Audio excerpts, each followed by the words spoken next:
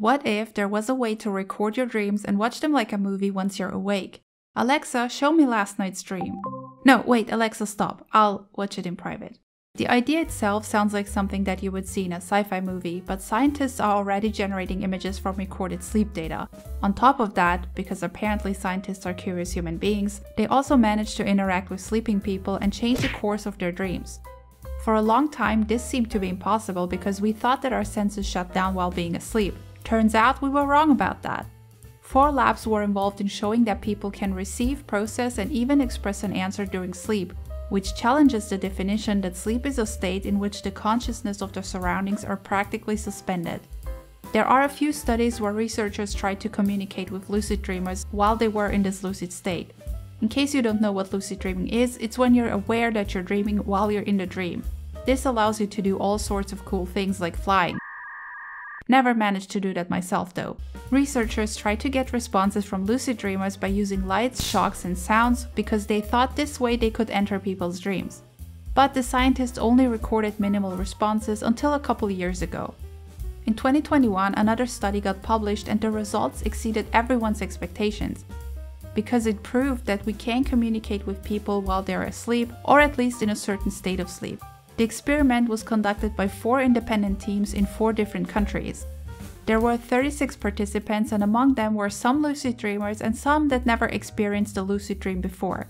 The second group received training to also be able to recognize when they are in a dream. All participants were instructed to make horizontal eye movements during their sleep when they entered lucid dreaming territory. Their brainwaves were monitored the whole time to make sure that they are not pretending to sleep but are actually asleep. Nothing new happened up until that point, but once it was confirmed that people were in fact lucid dreaming, the researchers asked them to solve simple math problems like 8 minus 6, and the members of the study had to answer with eye movements. They had earlier agreed on a code as a way to communicate. What the scientists found was that the sleeping participants were not only able to hear them in their dreams, but also process the information and give a correct answer. Some people even say this might pave the way for companies to play ads to us while we're sleeping because there's not enough of that being shoved down our throats already, and all of a sudden you wake up and really crave a McDonald's burger for breakfast. How is all this connected to recording and watching your own dreams? The results of the study suggest that external input can be received while being asleep. So, you could record and play some audio and create certain images in your dreams while scientists monitor your brain activity. This is not even hypothetical, this was actually done. When falling asleep, we enter a semi-lucid state that is called hypnagogia, and during that phase, it is possible to receive input. People were told to think about trees, and when they were later asked to report what they saw in their dreams, many of them mentioned trees.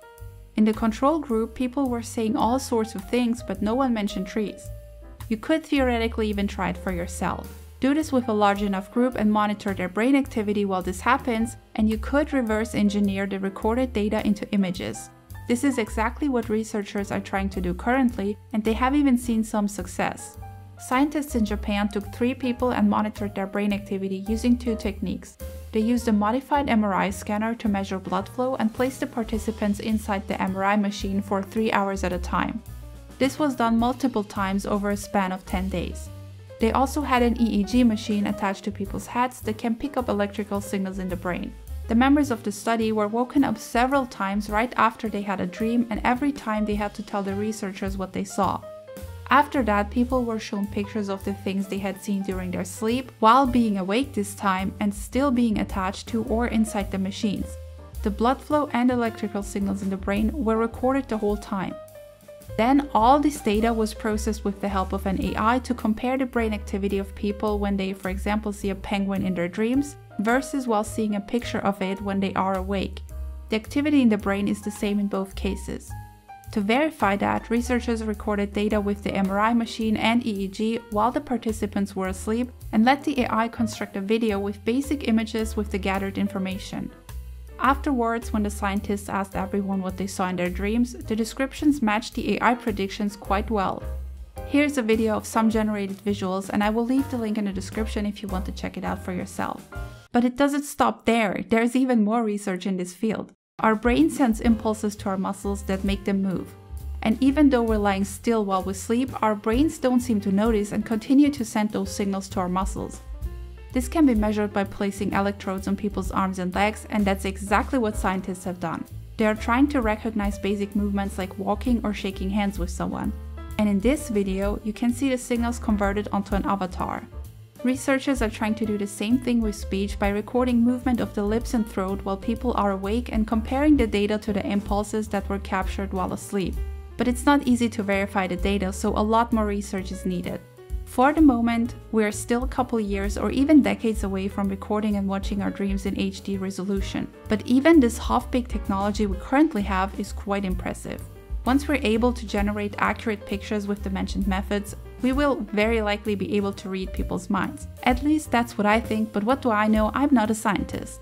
Earlier I mentioned that you can try for yourself to alter your dreams in a specific way. There is a technology for that, Dormio. It uses a new method called targeted dream incubation that makes it possible to give audio cues during hypnagogia, this will likely make you dream about the thing you hear, and it will also ask you to tell what you saw in your dream in that half awake state. You might not remember your dream upon waking up, but you will have your answer recorded and can listen to it. This project is open source and the source code along with instructions can be found on GitHub in case you want to build your own Dormio. What do you think about engineering dreams? If you enjoyed this video, send an impulse to your finger to like and subscribe and maybe you'll also enjoy this video.